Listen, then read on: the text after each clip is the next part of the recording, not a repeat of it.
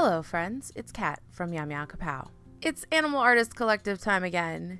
If you aren't familiar with the Animal Artist Collective, we're a group here on YouTube who are passionate about animals, art conservation, and art. Every other month, we create a piece of artwork in traditional mediums and put the original up for sale, with at least half of the price being donated to charity. There's plenty more information down in the doobly doo, including links to all the materials I used in this piece, the charity I'll be supporting with this, information on the AAC, and links to all the other official members' channels. We've even got our own playlist. I'd like to shout out a super warm welcome to our newest member, Mary Sanche. I'm totally blown away by her gouache work, and the fact that she has a ton of dinosaur toys all over her house just adds bonus points. Anyway, the theme for this month was urban animals, and as I hope you can see by now, I've chosen raccoons. Why? Because I just really love trash pandas? No deeper thought went into it. Literally, from the very moment I found out urban animals was even a possibility, this image immediately came to me and I needed to make it. The disadvantage to that being that I had no idea what to talk about, and figured that since raccoons are so common, there's really nothing interesting or endangered about them. But there is. First of all, there is a species of raccoon, the Cozumel or pygmy raccoon, that is actually critically endangered right now, with less than 250 of them living only on an island off the coast of Mexico. Their habitat, the mangrove forest, is being destroyed entirely by tourism. Since this breed only exists on that one island, the tearing down of the forest and the development of the land for more sightseeing purposes is completely destroying the species.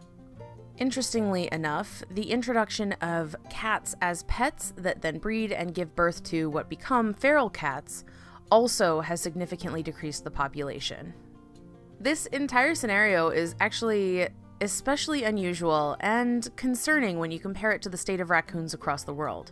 In many countries, raccoons are either only really thought of at night when the trash cans begin to clank together, or they're a complete and utter pest.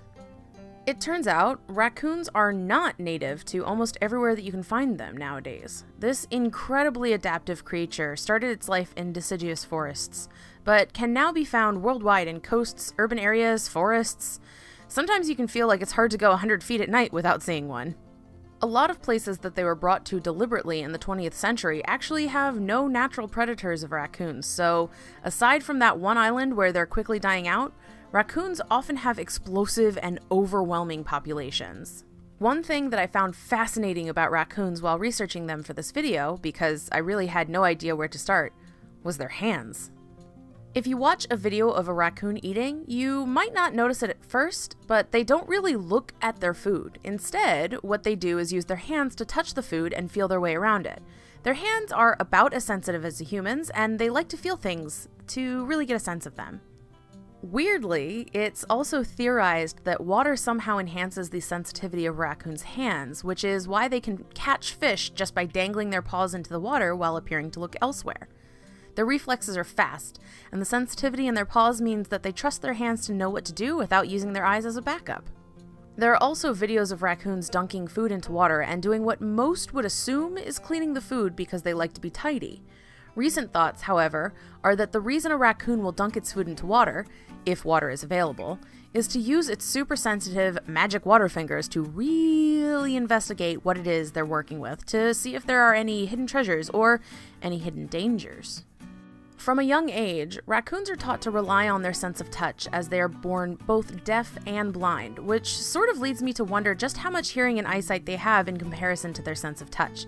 Does anyone know about this? I'm actually really curious to learn more about raccoons, but all the information online is basically the same. Oh, and by the way, whenever I look at trash pandas, I always love their tiny people hands, but it turns out they don't have thumbs. They don't have people hands at all. They just have crazy long fingers on tiny little palms and are super great at grabbing things two handed, but not one handed. It's crazy to think that I've been surrounded by raccoons for my entire life, and when it came down to writing information about them, all I could come up with was I don't know, I like them because they're cute. I think if there was better animal education, some of this stuff wouldn't have come as a surprise to me. I only just barely scratched the surface, and I bet at least one thing about what I said came as a surprise to at least one person. Shout out to whoever learned something this week because I sure did! That's why I'd like to support the Schuylkill Center for Environmental Education, a local wildlife and environmental education center that also helps heal and rehabilitate animals in its clinic and its 340 acre multi biomed space. Finding out about the rainforests being destroyed when I was a kid is what made me a certified tree hugger, and I'd love for there to be more people whose hearts are shaped by empathy for animals. As for this illustration, I don't know what it is about these AAC videos that makes me go super far off the deep end and make crazy things that I love, but that also challenge me, but this is probably the most detailed scene I've built to date. Some of my favorite parts of this painting are the details themselves, like the little sticky note behind the counter, and the one character in the background reaching for the syrup from the other table because they need it for their pancakes, or the stereotypically mangled Venetian blinds. I also took a page out of my own book and did a wash of cobalt teal in the background to tie it all together, something I've been experimenting with in the diner doodles I often post on my Instagram page. The whole piece was created using M. Graham watercolors, brown India ink, 100% cotton paper from Fluid, and my Escoda watercolor brushes. Even though the paper warped a bit after the heavy wash I applied to it here, it actually dried completely flat, so I'm totally impressed. The paints, in particular, are extra special to me because three of the four colors used were given to me as a gift by fellow YouTuber Arlie Bean. The only color I added was some quinacridone rose, also from M. Graham, because I knew for sure that the uniform of the raccoon waitress needed to be pink.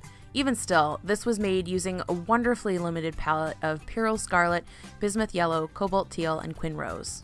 I've talked before about how I really love the way my work comes out when I use limited palette, and this is no exception. These colors together really give a nice contrast between warm and cool elements, and I'd highly recommend you give this combination a shot if you get the chance. It may seem unusual at first, but I hope the results manage to speak for themselves here. Also, a note about that Totoro inkwell you saw me use in the beginning. That's something I made for myself a few years ago because I'm clumsy and tend to knock things over, so I needed a very stable inkwell while working with dip pens. If you watched any of my Inktober videos from 2017, you may very well recognize it. I'm sorry to say that it's not available for purchase, though I've been considering making another and sharing with you all the process. If you're interested in purchasing this original artwork while it's available and helping to support wildlife education, the doobly doo is chock full of all the information you need to do so, along with the materials and links to my fellow artists. If you'd like to support the cause in other ways, please share our videos and playlists, subscribe to our channels, and take at least one step more towards helping make the world around you a kinder and more eco friendly place. Until I see you next time, I wish you peace, love, and pilfered ketchup bottles. Bye!